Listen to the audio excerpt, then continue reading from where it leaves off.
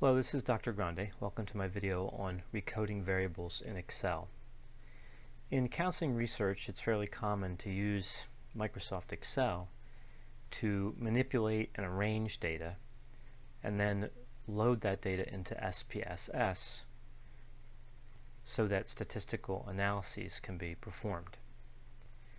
There is, however, some overlap between Excel and SPSS, and recoding variables is an example of one of those areas of overlap. So in SPSS there is a feature uh, named recode into different variables and I have a separate video that covers that. But I'm going to perform the same function in Excel using the fictitious data I have here in this worksheet. So I have here three variables have one independent variable, two levels, control and treatment, and I have a pretest variable and a post-test variable. So let's say we want to recode the pretest variable from the values that are currently in this variable uh, into new values that are based on these values. So I'll show you a couple examples of that. But the first thing we need to do is determine the range present in the pretest. Uh, more specifically, the minimum and the maximum value represented in the pretest variable.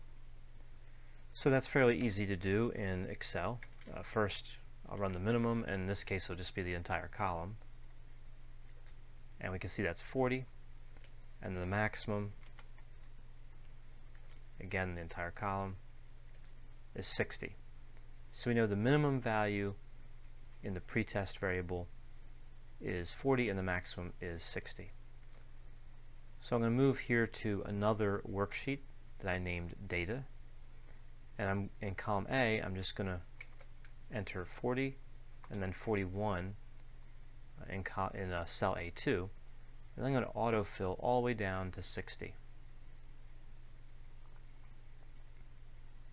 You can see I have the entire range of possibilities for pretest contained in column A on this uh, data worksheet. So I'm going to show you two possible ways to convert this data, recode this data, in terms of what the output might look like. So really it's the same method, it's just two different possible types of output. One would be scale, right? So the, the easy example here would just be 1, 2, and then all the way down to 21. And the other will be ordinal, which I'll show you in a few minutes. So let's just uh, recode 40 to 60 into 1 through 21. Let's start with that. So that's uh, scale in SPSS, so this would be uh, referred to as scale, to another uh, scale variable here uh, in column B. So we'll go to the first worksheet that has the data and I'm going to go ahead and put a grid or grid lines around the entire area just to keep it consistent.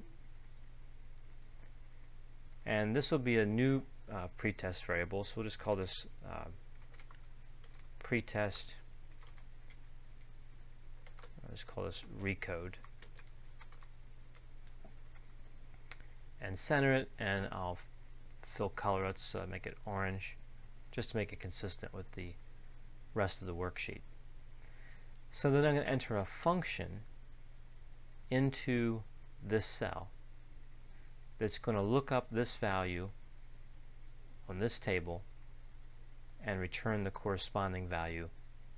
Um, so it's going to look up the value in column A and return the corresponding value from column B which will accomplish the recode function that we want to achieve. So this the function will be entered into this cell. You'll be able to copy all the way down through the the entire all the rows and it'll work correctly. But you have to set up um, in a specific way to be able to copy it all the way down. So I'll show you how we do that. So we're going to be using the index and match functions together. And if you want to learn more about this combination, I have another video on that as well. So first we'll start with index, and you can see the first uh, criteria, the first argument that is looking for here is array. And this array is going to actually be column B on the data on the data worksheet, specifically B1 through B21. And I clicked F4 there at the end to make this absolute. So that puts in the dollar signs to make this an absolute reference. Put a comma and you can see the next argument it's looking for is the row number. So the row number you're going to want to match the pretest data. So we're going to use the match function nested in the index function. And it's going to ask for lookup value. So going back to the uh, pretest post-test worksheet, the lookup value is going to be B2 in this case. Then it's asking for the array, and we're going to go back to data, and the array will be the populated cells in column A, which would be A1 through A21. Again, I'm going to click F4 here to make this absolute. Just want to note that when selecting the lookup value, which was B2, do not make that an absolute reference. But the lookup array you do want to be absolute. In this case, we're going to uh, end with exact match, which is 0. And you can see it's recoded 43 into 4. If you look here, uh, 43 does in fact match up with 4, so it did what we wanted it to do. And since it's set up with the absolute references in the correct places, and uh, it has the relative reference here for uh, B2, we can autofill this all the way to the end, and it'll return the correct values. So this would be a scale to scale, so a scale level measurement uh, recoding into a scale variable. Now once we have this function in place as we do now, it becomes very easy to change how we recode this pretest variable.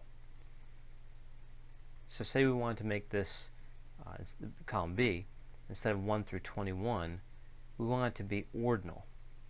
Let's say low, medium, and high. So we'll say that 40 is low. We'll enter that value. And we can autofill that, let's say, to 46. So if participant scores between 40 and 46, their ordinal value associated with those scores is low. And in a similar fashion, we can have a medium level, and we can make that from, let's say, 47 through 55. And then for 56 through 60, we'll have high. So now this is configured differently. This is going from uh, scale to ordinal.